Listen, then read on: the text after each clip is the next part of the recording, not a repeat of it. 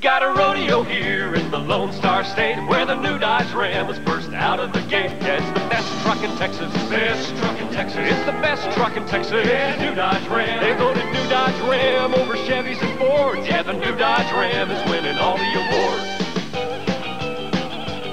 So see your nearest Dodge dealer, they're changing everything. And the new Dodge Ram was crowned the king. It's the best truck in Texas. New Dodge Ram. It's the best truck in Texas.